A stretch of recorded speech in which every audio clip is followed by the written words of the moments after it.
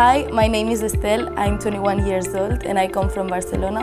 I'm an exchange student from Pompeu Fabra University and I'm studying um, political science. I wanted to uh, study abroad and I didn't want it to be on a European country. I think that going to European countries it's mostly the same as like living at home and studying on my home university. So I wanted to change and to um, have an impact on my life like in a cultural way and in educational way. So I chose uh, Morocco and FGSES because I think it's the best university here in Africa and I wanted like to um, experience um, all the education part and also the cultural and learning about life here.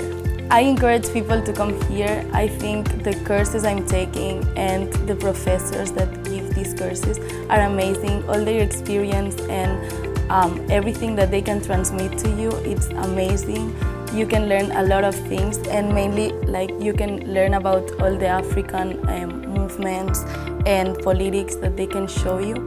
It's like.